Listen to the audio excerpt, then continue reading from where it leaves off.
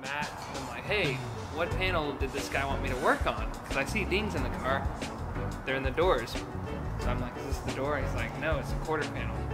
Well, I don't see a dent in the quarter panel. I'm freaking out. The guy's in a meeting, so I can't do anything. So I'm sitting in my car, and then finally, I get a text message. It's the latch. I didn't see the dent because I pulled the latch down when I first got there. Uh, like a two-inch crease vertical, and then about a three-inch crease horizontal. It made like a, a deep center right where they cross. So it's kind of like a Tetris piece. I fixed it good. I fixed the dent good. And I got the dent out. Came out great. Came all out? Came all out.